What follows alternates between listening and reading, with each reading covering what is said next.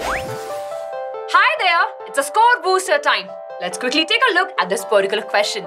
The question is, what is the dental formula of a normal human adult? This particular question, we'll be discussing about the different types of teeth we have. We have different types of teeth and let's quickly take a look at them. We have incisors, canines, premolars and molars. The dental formula represents the number of teeth we have in the upper and in the lower row. Now let's quickly count the number of teeth we have.